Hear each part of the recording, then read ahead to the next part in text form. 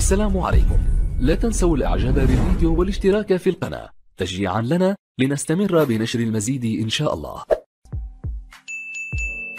سلام الله عليكم إخواني متابعي قناة دروس تقنية المعلومات مرحبا بكم. سعيد جدا بلقائكم. التواصل معكم مرة أخرى في هذه الحلقة الجديدة والتي تأتي دائما بتعاون مع موقع دروس التعليمية على شبكة الإنترنت الموقع الإداري والتربوي المعروف الذي أدعوكم دائما لزيارته والاستفادة من محتوياته.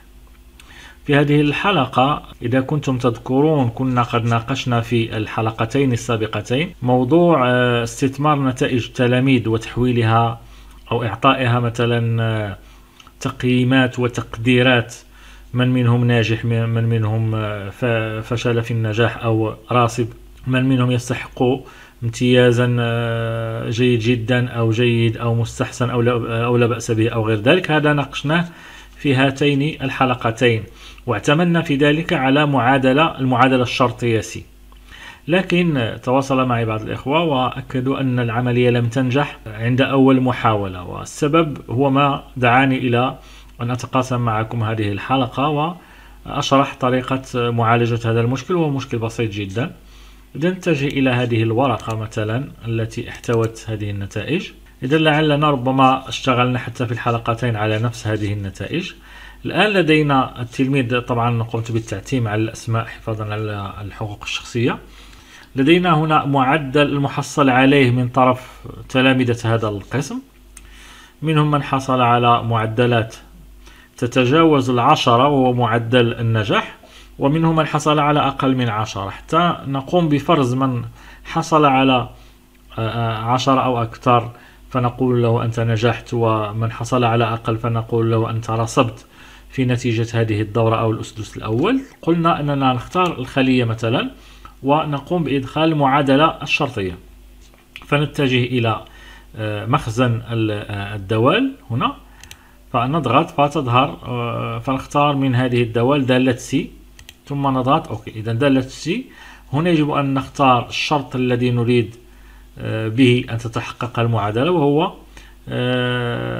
هذه الخلية. إذا نحن نريد أن نقيم معدل المحصل عليه. إذا سنختار هذه الخلية التي يتواجد بها المعدل ونقول يجب أن تكون أكبر من أو تساوي عشرة حتى يكون التلميذ ناجح في هذا الأسدس. إذا نكتب أكبر من هكذا أو تساوي عشرة. إذا هذا هو الشرط. إذا تحقق هذا الشرط نقول لهذا التلميذ أنت ناجح. إذا لم يتحقق هذا الشرط إذا نقول له أنت راسب طبعا هذا ما آه تقاسمناه في الحلقة حلقتين السابقتين ضغط أوكي. إذا لاحظوا هنا أعطتنا ناجح. لماذا؟ لأن هذا التلميذ المعدل المحصل عليه هو أكبر من أو يساوي عشرة. يفترض أنني عندما سأسحب هنا هذه المعادلة على باقي النتائج التلميذ الأول سأجد أمامه ناجح التلميذ الثاني كذلك سأجد هنا ناجح التلميذ الثالث يفترض أن أجد هنا راسب لأن هذا التلميذ لم يحصل على عشرة وإنما حصل على أقل من عشرة. لكن لاحظوا ما عندما سأقوم بسحب هذه المعادلة على باقي النتائج أعطتنا ناجح لجميع التلاميذ رغم أن هذا التلميذ هو في الحقيقة لم يحصل على المعدل ولم يتحقق فيه الشرط الذي وضعناه في المعادلة إلا أنه آه، التقدير ناجح. هذا هو المشكل الذي وقع فيه بعض الإخوة فلم تنجح معهم معهم العملية. الخلل أين؟ الخلل هو أن الوثائق المسحوبة أو المنزلة من آه، موقع مسار تكون الفاصلة على هذا الشكل. تلاحظون هذه الشرطة الفاصلة. بينما في المعادلة الفاصلة هي نقطة. فلا بد من تغيير هذه الفاصلة بنقطة حتى تنجح المعادلة. إذا مثلا ضغطنا هنا ضغطتين وقمنا بتغيير هذه الفاصلة قمنا بمسحها وتعويضها بنقطة. لاحظوا عندما سأضغط تحولت ناجح إلى راسب. الآن اشتغلت المعادلة لأن هنا فهم الإكسل أن هذه أقل من عشرة بينما هو لم يستطع أن, أن يدرك أو أن يفهم أن حتى مثلا هذا التلميذ لديه معدل محصل عليه هو 0.26 فإذا سحبت ربما سيعطيني كذلك أعطاه تقدير ناجح بينما هو فاشل جدا بل آه، أقل حتى من ضعيف.